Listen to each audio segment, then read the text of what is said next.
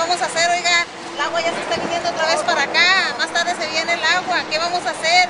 Ahorita voy a, me van a ayudar a sacar un poco de muebles, a ver qué está bueno, qué no está bueno, de frente de la calle a ver si se puede entrar.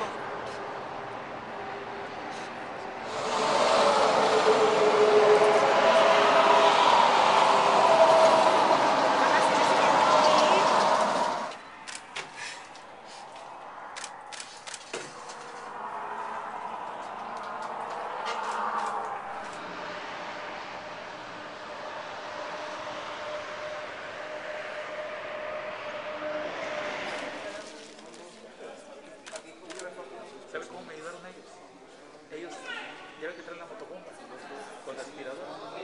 Metieron.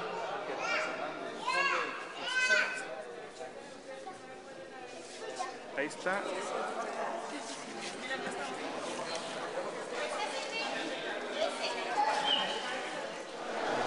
¿Y sabe más o menos cuánto es la población afectada?